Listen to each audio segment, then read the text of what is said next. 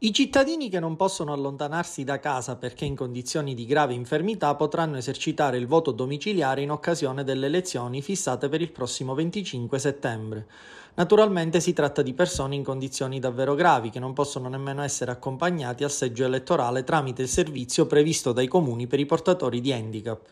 Gli elettori che hanno necessità di votare da casa propria dovranno inviare al sindaco una dichiarazione di esprimere il voto dall'abitazione in cui dimorano, nel periodo compreso tra martedì 16 agosto e lunedì 5 settembre di quest'anno, quindi tra il quarantesimo e il ventesimo giorno prima delle ormai imminenti elezioni.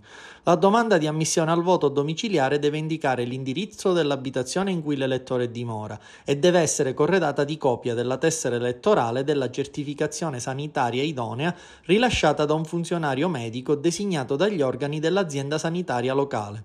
Laddove possibile, meglio anche indicare un recapito telefonico.